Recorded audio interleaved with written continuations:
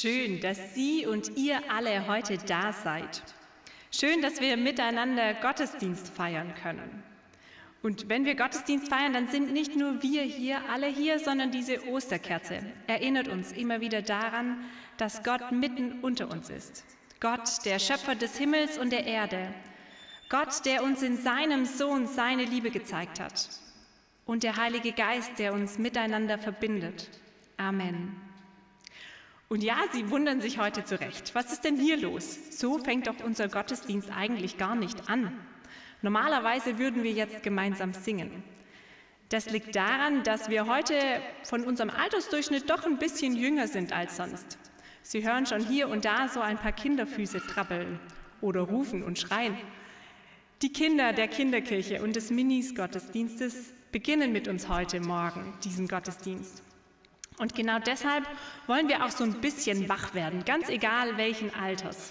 Das heißt, Sie dürfen mal aufstehen, sich so ein bisschen recken und strecken und ich verrate Ihnen was, wenn wir jetzt gleich singen, dann brauchen Sie nicht nur Ihre Hände und Arme, sondern auch Ihre Hüften. Ja, also schon mal so ein bisschen warm machen, damit Sie gleich mitmachen können. Sie werden jetzt den Text eingeblendet sehen unseres Liedes. Und zum Refrain gibt es auch Bewegungen. Die mache ich Ihnen jetzt mal vor. Also Augen gut hierher und aufpassen, damit Sie richtig gut mittanzen können. Wir beginnen mit Weißt du, wer ich bin? Weißt du, wer ich bin? Ich bin Gottes geliebtes Kind. Weißt du, wer ich bin? Weißt du, wer ich bin? Ich bin Gottes geliebtes Kind. Wenn ihr Kinder, die jetzt noch da hinten sitzen, gerne nach hier vorne kommen möchtet in die vorderen Reihen, dann dürft ihr das, damit ihr noch ein bisschen besser seht. Und vor allem gibt es nachher noch eine Geschichte zu sehen. Und dann geht es jetzt los.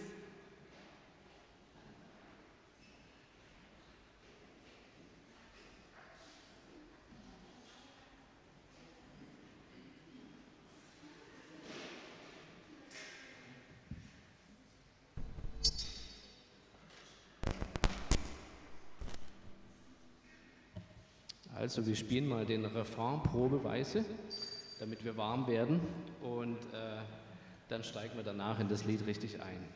Also weißt du, wer ich bin? Weißt du, wer ich bin? Weißt du, wer ich bin? Ich bin Gottes geliebtes Kind.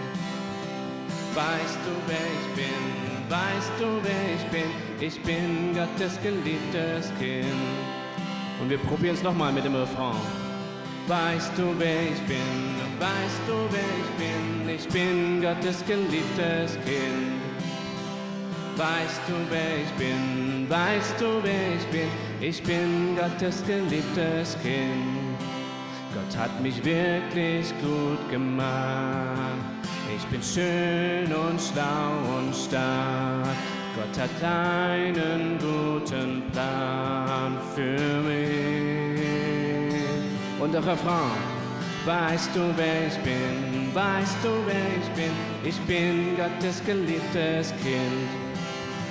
Weißt du, wer ich bin? Weißt du, wer ich bin? Ich bin Gottes geliebtes Kind. Mein Vater redet gern mit mir. Er ist bei mir, wird mich führen und er traut mir so viel Gutes zu. Und weil Jesus mich so liebt und mir meine Schuld vergibt, kann ich liebevoll zu anderen sein. Weißt du, wer ich bin? Weißt du, wer ich bin? Ich bin Gottes geliebtes Kind. Weißt du, wer ich bin? Weißt du, wer ich bin? Ich bin Gottes geliebtes Kind.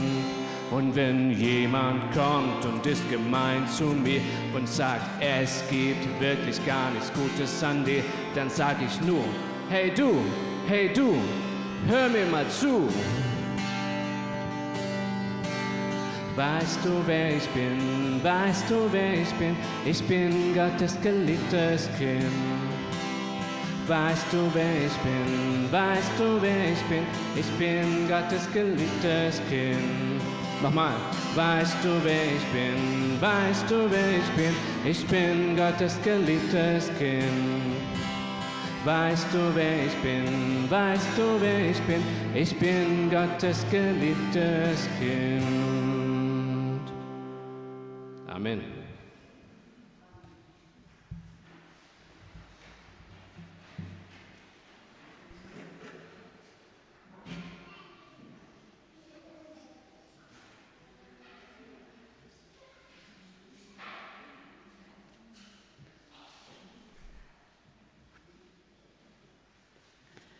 Sie haben schon super mitgemacht. Das hat mir richtig gut gefallen. Sie dürfen sich leider noch nicht ganz bequem machen, denn wir wollen gemeinsam beten. Wem es also möglich ist, bitte ich aufzustehen. Wir beten gemeinsam mit den Worten aus Psalm 36. Sie sehen den Text an der Leinwand eingeblendet. Wir beginnen gemeinsam. Gott, deine Güte reicht, soweit der Himmel ist. Du sorgst für Menschen und Tiere. Du hast alles geschaffen, auch mich und alle, die ich lieb habe. Gott, deine Güte reicht, soweit der Himmel ist. Du willst, dass die Menschen gerecht zueinander sind. Du willst, dass alle genug zum Leben haben. Gott, deine Güte reicht, soweit der Himmel ist. Wer auf dich hört und dir vertraut, der ist nie allein. Der kann sogar durchs Dunkle gehen. Gott, deine Güte reicht, soweit der Himmel ist.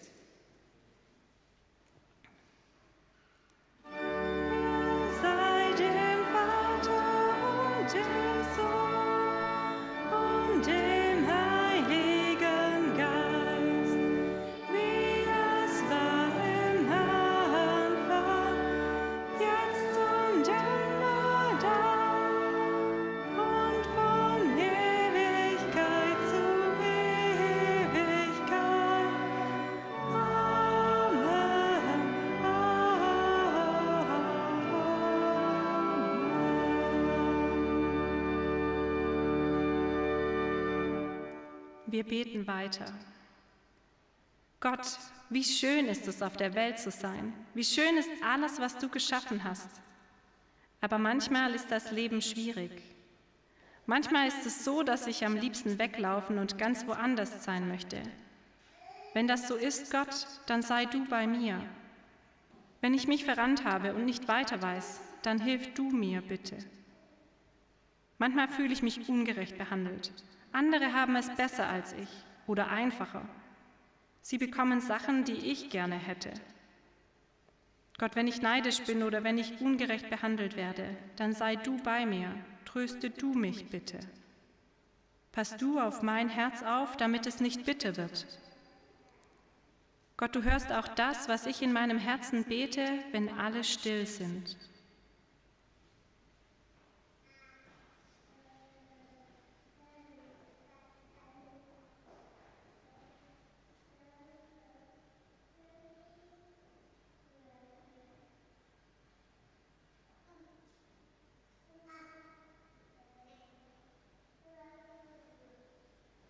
Danke Gott, dass du mir zuhörst, egal ob ich laut oder leise bete. Danke, dass ich dir alles anvertrauen darf, was in meinem Herzen und in meinem Kopf ist. Danke, dass du mir zuhörst. Amen. Jetzt dürfen Sie es sich tatsächlich so richtig bequem machen, denn jetzt gibt es eine Geschichte zu sehen.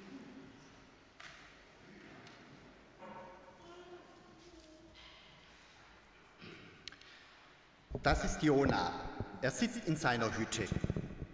Heute Nacht hat Gott mit ihm gesprochen. Er hat die Stimme ganz deutlich gehört. Jona, geh in die Stadt Ninive. Du musst die Menschen dort warnen. Sie richten viel Unheil an. Du sollst ihnen eine Nachricht von mir überbringen. Jona kennt schreckliche Geschichten über Ninive. Die Menschen dort denken nur an sich ob andere genug zum Leben haben, ist ihnen egal. Auch an Gott denken die Menschen nicht mehr.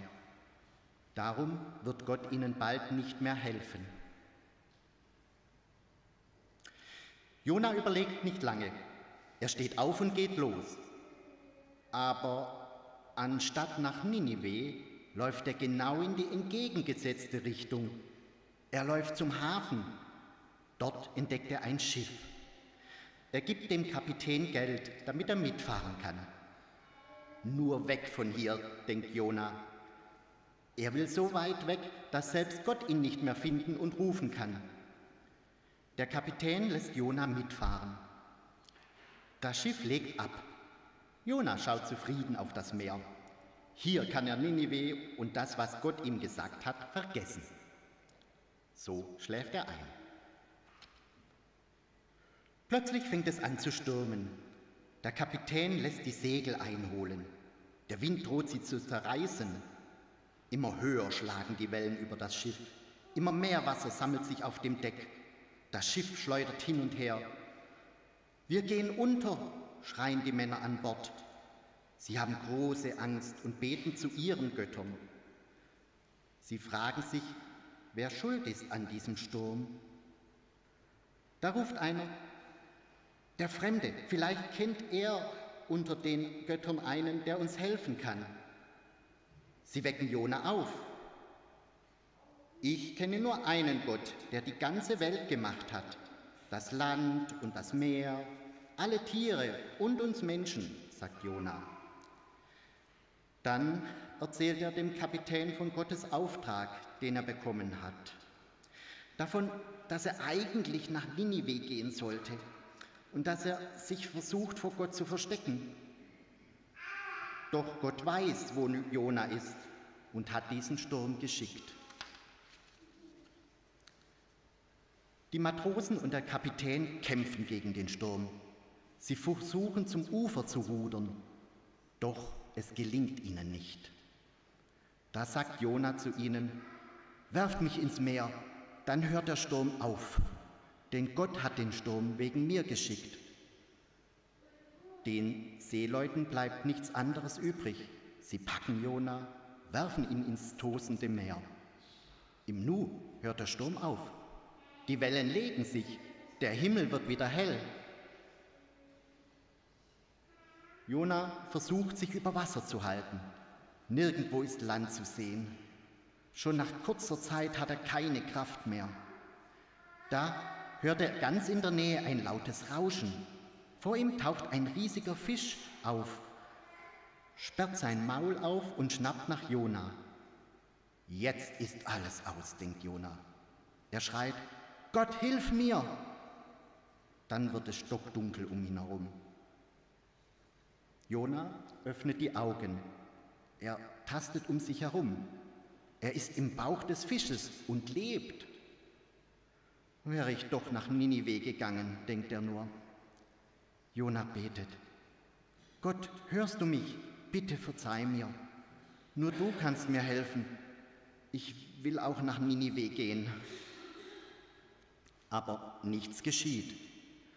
Jona erinnert sich an die Gebete und Lieder. Er singt und betet. Es bleibt dunkel, doch er ist am Leben. Plötzlich wird es taghell. Jona spürt Boden unter den Füßen.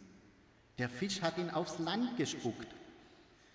Jona zieht seine nassen Kleider aus und legt sie zum Trocknen in die Sonne. Er möchte sich ein bisschen ausruhen. Aber da hört er wieder die Stimme. Jona, geh nach Ninive und sage den Menschen dort, was ich ihnen zu sagen habe. Schnell zieht Jona seine Kleider wieder an und macht sich auf den Weg. Da liegt sie vor ihm, die riesige Stadt. Werden die Menschen hören, was ich zu sagen haben? fragt sich Jona. Schon hat er die ersten Häuserreihen erreicht. Er läuft noch ein Stück weiter und stellt sich an die Straßenecke. Ihr Menschen von Ninive, ihr habt Gott vergessen, ihr behandelt andere ungerecht, nur damit es euch gut geht. Die Leute schütteln zunächst den Kopf über diesen fremden Mann an der Straßenecke. Dann aber bleiben sie doch stehen. Sie erschrecken, als sie hören, was er ihnen zu sagen hat. Noch 40 Tage und eure Stadt wird untergehen. Wie ein Lauffeuer spricht sich diese Botschaft in der Stadt herum. Auch der König macht sich große Sorgen. Er legt seinen prächtigen Königsmantel ab und befiehlt, alle Bewohner der Stadt sollen zu Gott beten. Jeder soll Gott bitten, er möge sich doch wieder mit ihm versöhnen. Und Jona, der sitzt inzwischen auf einem Hügel vor der Stadt.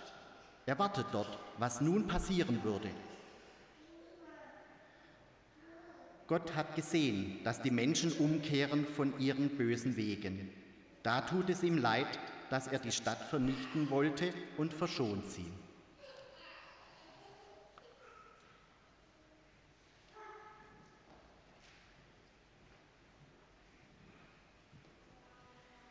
Jetzt dürfen die Kinder der Kinderkirche und des Minis-Gottesdienstes mit ihren Mitarbeitern vorkommen und ihre Kerzen anzünden.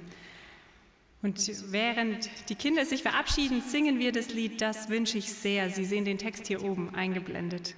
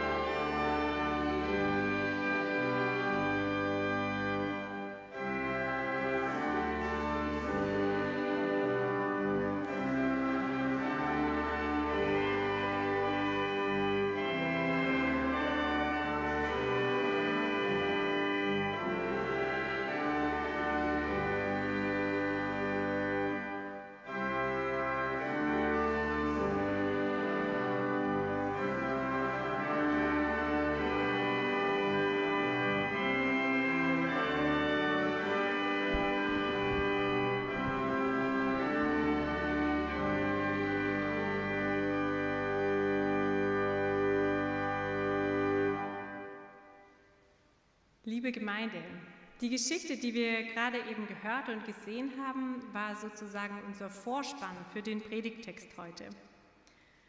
Ich muss Ihnen ja gestehen, dass ich, bis ich mich mit dem Predigtext beschäftigt habe, dachte, die Jona-Geschichte, die kenne ich, sogar ziemlich gut. Ich habe sie schließlich oft genug in der Kinderkirche und im Rallyeunterricht gehört.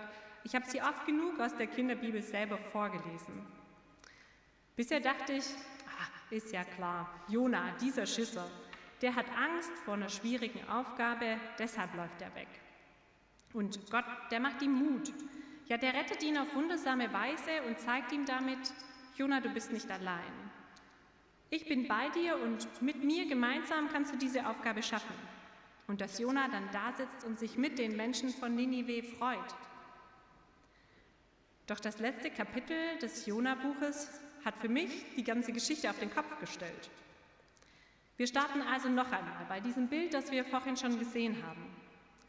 Hier sitzt Jona außerhalb der Stadt und er wartet. Er hat sich sogar eine kleine Hütte gebaut, um Schutz zu haben. Und dann wartet er. Er wartet darauf, dass Gott sein Wort hält, dass er wahr macht, was er angedroht hat. Doch Jona wartet vergeblich. Ich lese Ihnen jetzt das letzte Kapitel des Jona-Buches vor. Sie dürfen gern die Augen schließen und Bilder in Ihrem Kopf entstehen lassen. Lassen Sie sich mit hineinnehmen in einen heißen Sommertag. Wem es leichter fällt, den Text mitzulesen, der kann auch den Text mitlesen, so wie es für Sie gut passt. Und Gott sah, was die Leute taten. Sie kehrten um von ihrem bösen Weg. Da tat es Gott leid, dass er sie vernichten wollte. Er beschloss, seine Drohung nicht wahrzumachen. Jona ärgerte sich sehr darüber. Der Zorn packte ihn. Er betete zum Herrn und sagte, Ach Herr, genau das habe ich mir schon gedacht, als ich noch zu Hause war. Deshalb wollte ich auch nach Taschisch fliehen. Ich wusste ja, du bist reich an Gnade und Barmherzigkeit, unendlich geduldig und voller Güte. Du bist ein Gott, dem das Unheil leid tut. Jetzt ist's genug, Herr, lass mich sterben, denn ich will lieber tot sein, als weiterleben. Der Herr aber fragte, Hast du recht, dass du so zornig bist? Jona verließ die Stadt. Er suchte sich östlich der Stadt einen Platz und baute sich dort eine Hütte. Er setzte sich in ihren Schatten und wollte sehen, was mit der Stadt geschehen würde. Da ließ Gott der Herr eine Rizinuspflanze in die Höhe wachsen. Sie wuchs über Jona empor und gab seinem Kopf Schatten. Jona sollte darüber seinen Ärger vergessen. Er freute sich sehr über den Rizinus. Am Morgen aber, bevor die Sonne aufging, schickte Gott einen Wurm. Der biss die Wurzeln durch, sodass der Rizinus verdorrte. Nachdem die Sonne aufgegangen war, schickte Gott einen heißen Ostwind. Die Sonne brannte Jona auf den Kopf, sodass er fast die Besinnung verlor. Da wünschte er sich den Tod und sagte, ich will lieber tot sein als weiterleben. Gott aber fragte Jona, hast du recht, dass du so zornig bist, weil der Rizinus verdorrt ist? Jona antwortete, ja, ich habe recht, dass ich so zornig bin und mir den Tod wünsche. Da sagte der Herr, die Rizinuspflanze tut dir leid, doch du hast keine Mühe mit ihr gehabt und sie auch nicht großgezogen. Sie wuchs über Nacht und verdarb über Nacht. Und jetzt frage ich dich, sollte Ninive mir nicht leid tun? Eine große Stadt mit mehr als 120.000 Menschen. Sie alle wissen nicht, was links und was rechts ist. Dazu kommen noch die vielen Tiere.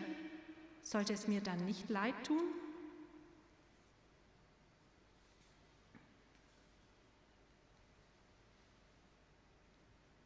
Jona erscheint mir ganz schön unsympathisch. Ja, so richtig störrisch und eigensinnig.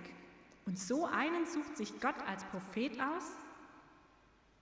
Und wieso wird Jona eigentlich so wütend? Wieso freut er sich denn nicht mit den Menschen von Ninive? Gott hat doch in der ganzen Geschichte auf so wundersame Weise gewirkt und Jona wünscht sich vor lauter Wut den Tod herbei. Eine Antwort, warum Jona so wütend wird, könnte sein, dass er nicht lächerlich werden will. Er will kein falscher Prophet sein. Denn in Israel galt damals nur derjenige als wahrer, als echter Prophet, dessen Wort auch eintritt.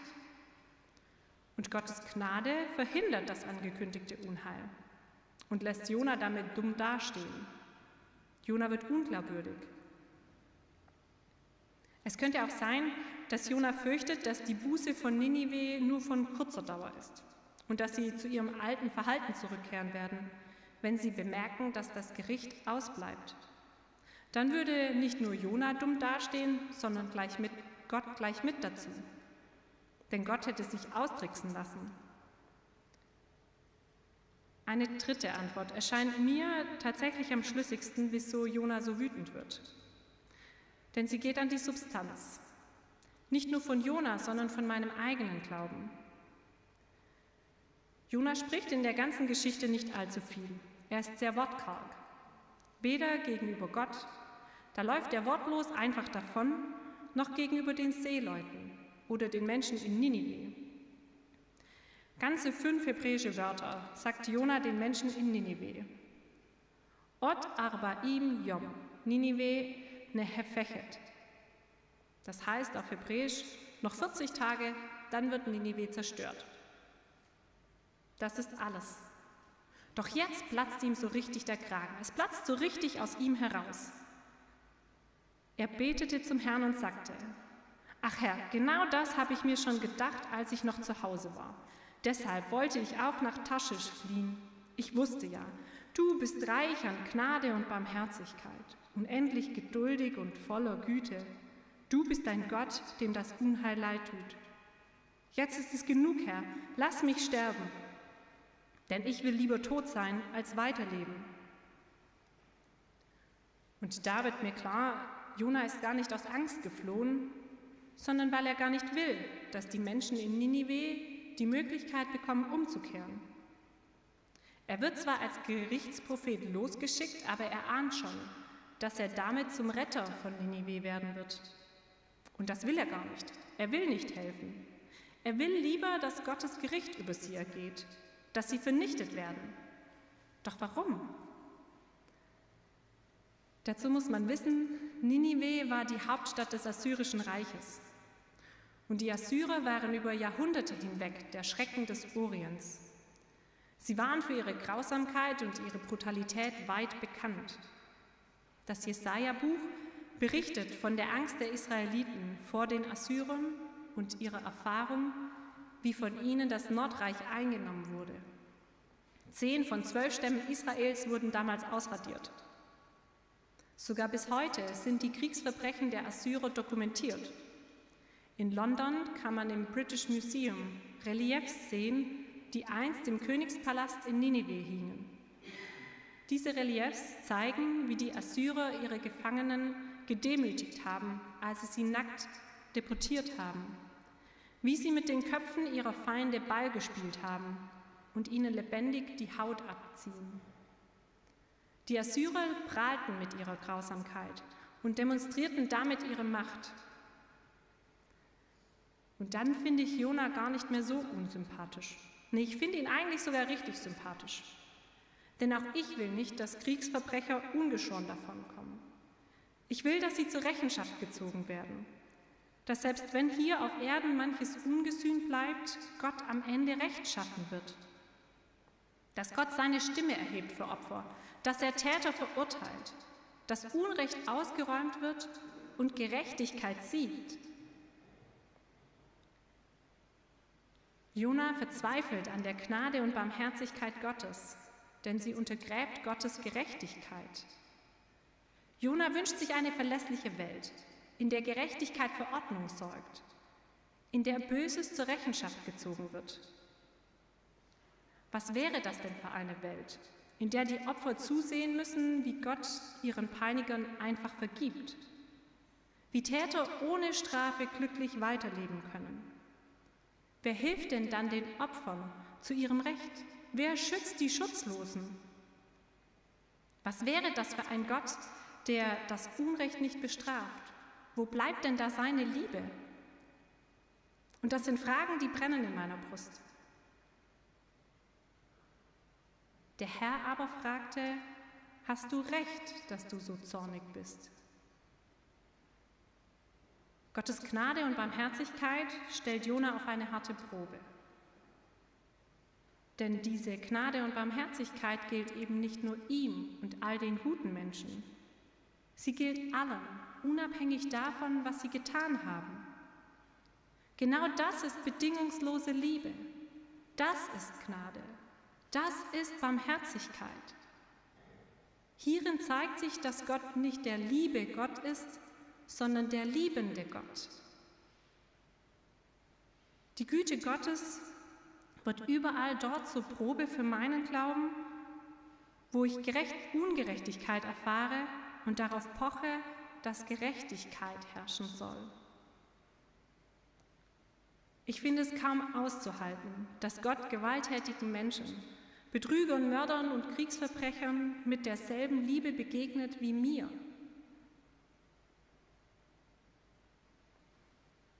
Auf meiner Liste, da stehen auch noch andere Namen. Menschen, die ich gut kenne. Vielleicht stehen auf Ihrer Liste auch ganz persönliche Namen. Namen von Lehrern, von Chefs oder Kollegen. Vielleicht ist es auch ein Name aus der Familie oder aus dem engsten Kreis. Vielleicht ist es ein Ex-Partner. All diese Menschen auf meiner Liste, das sind Personen, von denen ich mir insgeheim erhoffe, dass Gott sie nicht so sehr liebt wie mich, dass er sie genauso verabscheut, wie ich es tue und dass er sie einmal zur Rechenschaft ziehen wird. Und diese Geschichte von Jona, die lässt mich seit Tagen nicht mehr los. Sie hat mich aufgerüttelt, denn sie führt mir vor Augen, dass ich insgeheim meine, Gottes Liebe mehr verdient zu haben als andere und dass ich gar nicht will, dass Gott alle Menschen gleich liebt.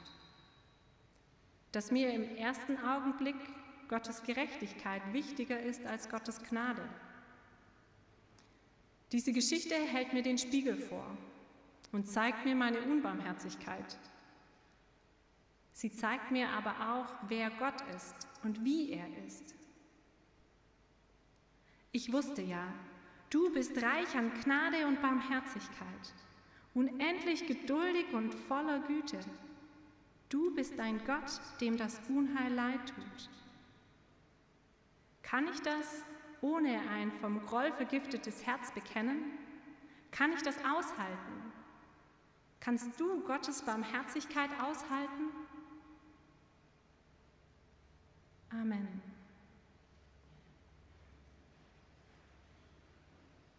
Wir singen gemeinsam, Herr, deine Güte reicht, soweit der Himmel ist.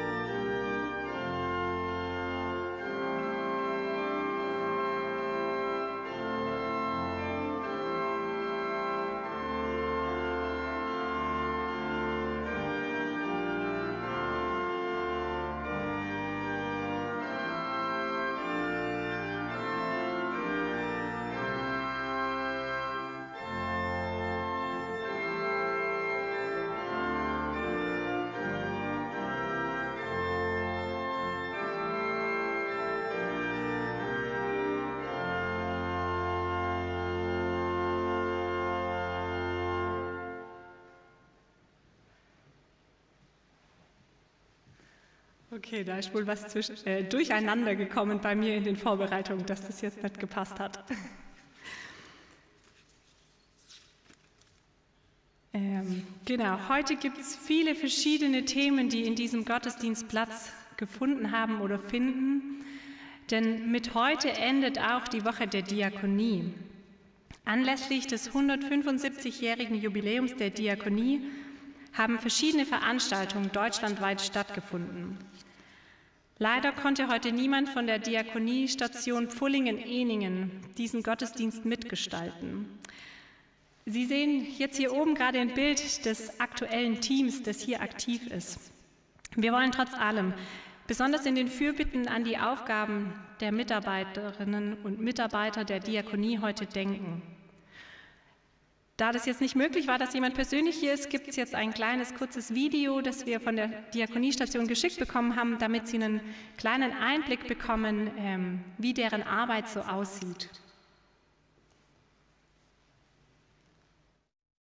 Wir sind sehr zufrieden mit der Diakonie-Sozialstation Pfullinger-Enningen. Sie sind sehr pünktlich, sie kommen immer zur genauen Zeit, machen ihre Arbeit ordentlich. Und wie gesagt, wir haben immer sehr viel Spaß auch miteinander. Unsere Diakonie-Sozialstation Fuhlingen-Eningen, die besteht seit 1995 in ihrer jetzigen Rechtsform. Wir können aber auf eine weit als 100 Jahre alte Historie verweisen. Wir sind ein gemeinnütziger Verein und arbeiten daher nicht gewinnorientiert. Die Grundlage unseres Handelns ist das Evangelium nach Jesus Christus. Ziel unserer Arbeit ist es, die Selbstständigkeit jedes Einzelnen in seiner gewohnten Umgebung zu erhalten und zu fördern, frei nach unserem Motto zu Hause wie gewohnt. Wir helfen alten, kranken und pflegebedürftigen Menschen, so lange wie möglich in ihrer gewohnten Umgebung zu bleiben. Für eine erste ausführliche Beratung kommen wir gerne zu Ihnen nach Hause. Wenn die Pflege von der Familie selbst übernommen wird, geben wir Ihnen praktische Hilfe und Anleitung. In Absprache mit dem jeweiligen Hausarzt übernehmen unsere geschulten Pflegekräfte auch ihre medizinische Versorgung. Der respektvolle Umgang mit unseren Patienten ist uns wichtig. Auch bei den Dingen des täglichen Lebens werden sie bei uns bestens betreut. Gerne erledigen wir ihre Einkäufe oder reinigen ihre Wohnung.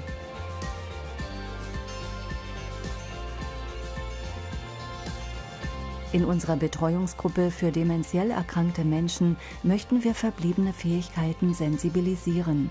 Angehörige werden durch unser Angebot entlastet.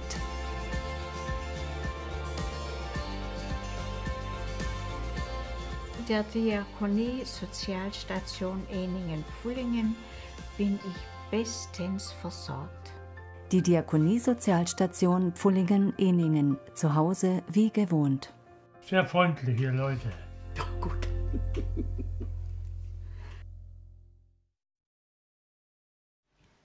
Ich bitte Sie aufzustehen, wem es möglich ist, damit wir gemeinsam beten können. Liebender Vater, es tut gut zu wissen, dass du uns Menschen liebst, selbst wenn wir falsche Dinge tun, dass du nicht bestrafst, obwohl wir es verdient hätten. Deine Gnade und Barmherzigkeit ist manchmal kaum auszuhalten. So ungerecht erscheint es, dass Menschen, die schlimme Dinge getan haben, genauso von dir geliebt sind wie wir. Gott, du bist größer, größer als alles, was wir Menschen verstehen können so ist auch deine Liebe und deine Barmherzigkeit größer, als wir es uns vorstellen können. Erinnere uns immer wieder daran, dass du uns liebst und dass du uns gnädig bist. Hilf uns, dass wir genauso freundlich miteinander umgehen, wie du mit uns umgehst. Liebender Vater, wir bitten dich heute besonders für alle die Mitarbeitenden der Diakonie, die sich für andere Menschen einsetzen. Indem sie andere pflegen, machen sie deine Liebe und Güte erfahrbar. Sorge du gut für all diese Menschen, die mit großem Leid konfrontiert werden, die schwere Situationen aushalten müssen und selbst an ihre Grenzen stoßen. Sie tragen deine Liebe in ihren Herzen. Schenke du ihnen Kraftquellen, an denen sie auftanken können. Schenke du ihnen Ruheorte, wo sie alles abgeben dürfen.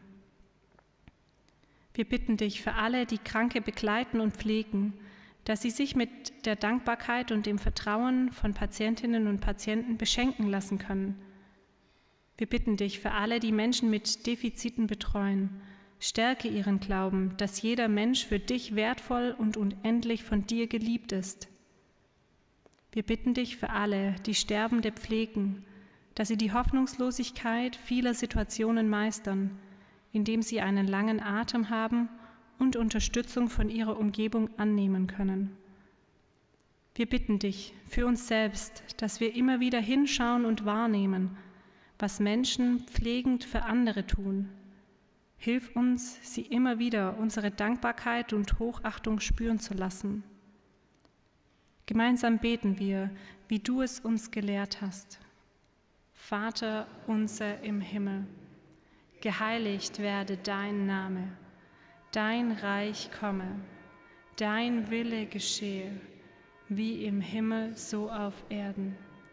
Unser tägliches Brot gib uns heute und vergib uns unsere Schuld, wie auch wir vergeben unseren Schuldigern. Und führe uns nicht in Versuchung, sondern erlöse uns von dem Bösen. Denn dein ist das Reich und die Kraft und die Herrlichkeit in Ewigkeit. Amen. Jetzt singen wir noch einmal gemeinsam und Sie dürfen dazu Platz nehmen.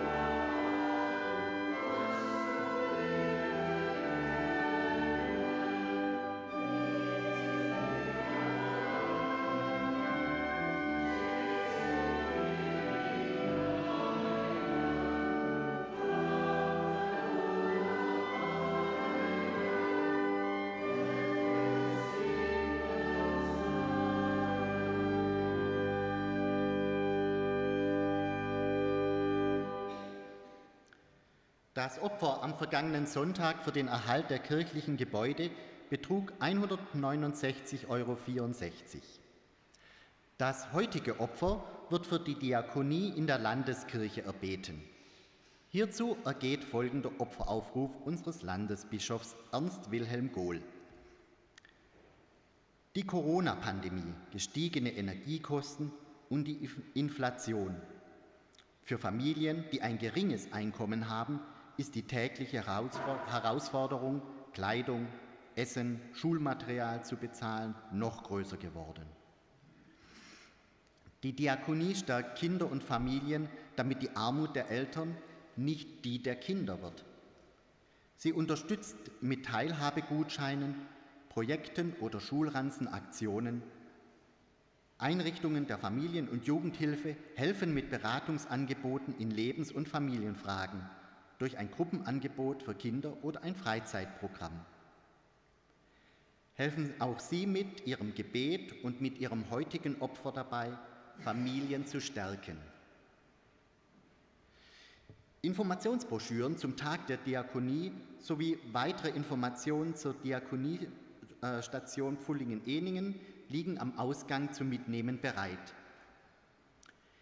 Im Anschluss an den heutigen Gottesdienst sind Sie herzlich eingeladen, noch etwas bei einem kühlen Getränk oder einem Eiskaffee zu verweilen, ins Gespräch zu kommen und diese Informationen in Ruhe durchzulesen. Äh, die Sachen sind noch im Kühlschrank, also geben Sie mir ein paar Momente Zeit, bis dann alles drüben ist. Am Dienstag ist um 14.30 Uhr Seniorentreff im Gemeindehaus. Um 19 Uhr findet seit über drei Jahren wieder BIG statt, also Bibel im Gespräch, mit Pfarrerin Weiß und Pfarrer Eisler im Andreas Gemeindehaus. Am Mittwoch um 16 Uhr startet die neue Konfi-Gruppe mit ihrem Unterricht im Gemeindehaus. Wir wünschen den Jugendlichen für ihr Konfi-Jahr viel Spaß, eine wachsende Gemeinschaft und viele neue Impulse oder gar Erkenntnisse. Um 18 Uhr gibt es ein Angebot für Jugendliche ab 14 Jahre mit Pfarrer Eisler und Pfarrerin Weiß. Um 20 Uhr trifft sich das Neuland-Team im Foyer des Pfarrbüros. Am Freitag starten unsere frisch gebackenen Konfis mit ihren BetreuerInnen, Pfarrerin Weiß und Pfarrer Eisler, zum Konfi-Camp in der Dobelmühle. Am kommenden Sonntag hält Pfarrer in Ruhestand Martin Dürr den 10 Uhr Gottesdienst hier in der Andreaskirche. Der Kindergottesdienst muss nächsten Sonntag leider ausfallen. Um 11 Uhr ist ein Gottesdienst im Seniorenzentrum St. Elisabeth auch mit Pfarrer Dürr. Und nun erheben Sie sich bitte zu den Fürbitten.